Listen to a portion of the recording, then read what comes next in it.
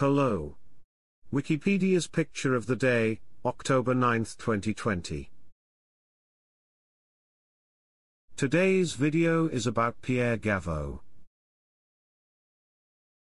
Pierre Gaveaux, the 9th of October 1761 the 5th of February 1825, was a French operatic tenor and composer.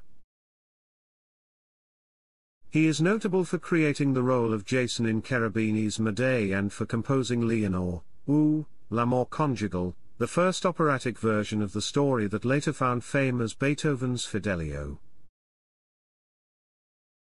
Early in his career, he was a conductor at the Grand Théâtre de Bordeaux, but later moved to Paris, taking on various operatic roles and composing several operas that were performed throughout Europe. During the French Revolution, he composed a hymn to the Supreme Being.